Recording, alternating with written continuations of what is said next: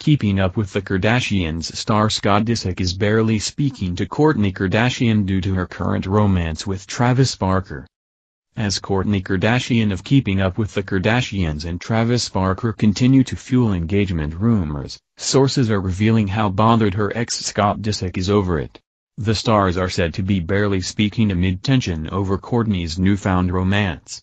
Meanwhile, Scott is still enjoying time in Miami with his 19-year-old girlfriend Amelia Hamlin. Fans have questioned if Scott's temporary relocation to Miami was to help him avoid seeing the mother of his three kids happily dating someone else. During the season finale, the talentless founder revealed his big fear of seeing Kourtney dating someone else. The two were both single at the time of the revelation with Scott ending his three-year relationship with Sofia Richie. But as the months went on, Scott was seen hitting the dating scene hard before settling down with Amelia. By January, Kourtney and Travis confirmed their longtime friendship developed into a romance. Since then, the two have only fallen more in love and it appears to be to the dismay of Scott. Now insiders are dishing about all the tension between the two co-parents over Kourtney's PDA with the Blink-182 drummer. Scott and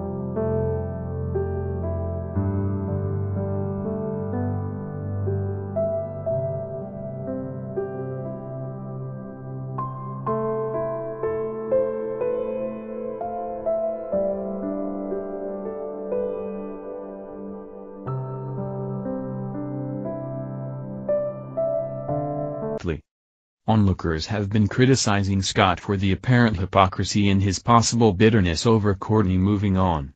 The two ended their relationship back in 2015 after countless cheating allegations.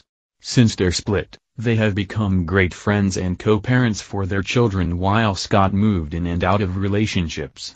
This is Kourtney's first time dating since her 2018 breakup with Younes Bendjima. It looks like Scott had more than enough time to rekindle the romance with the Keeping Up with the Kardashians star if he truly wanted to.